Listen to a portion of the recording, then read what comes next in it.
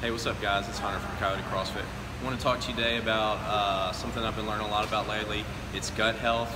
Um, our gut health is one of the most important things in our body to really be uh, aware of. Um, our gut, they call it the second brain of the body. Um, it's our, it's what controls our immune system. It controls a whole lot of functions in our body.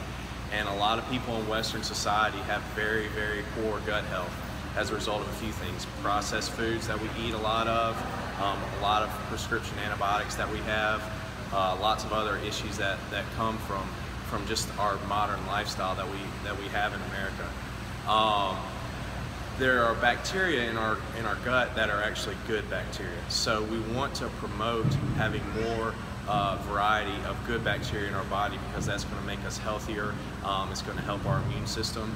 Um, so what are a few things that we can do to improve our gut health? Um, so I've kind of written, written a, just a few quick takeaways on the board.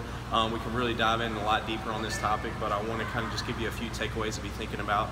First is eat a wide variety of fruits and vegetables. Okay, fruits and vegetables have very high fiber content, which is very good for our, our gut.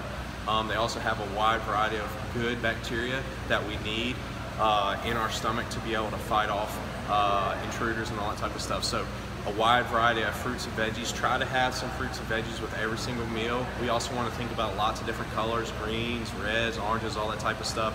So just always constantly variety of foods, okay? Um, a probiotic supplement is something to think about. That's good to add into it. Uh, and also, when you're choosing probiotic, we want to vary those, okay? So we don't want to stick with just the same probiotic. We always want to be doing a different probiotic because we want variety, expose our, our gut to a wide variety of good uh, bacteria. So um, higher strain um, bacteria count for our probiotic and, and vary those.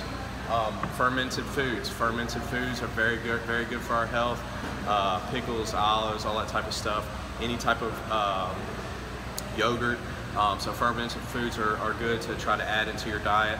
Um, and then try to cut out processed foods. Processed foods are not real foods. Our body doesn't treat them as such. They don't they don't process them well. They don't digest well. It can tear our gut up, um, cause gut leaking, all that type of stuff. So um, those are four quick takeaways. Um, want to dig into this uh, more on on a later later post, but for now, uh, start start being aware of that. Start start paying attention to how important our gut is for our health.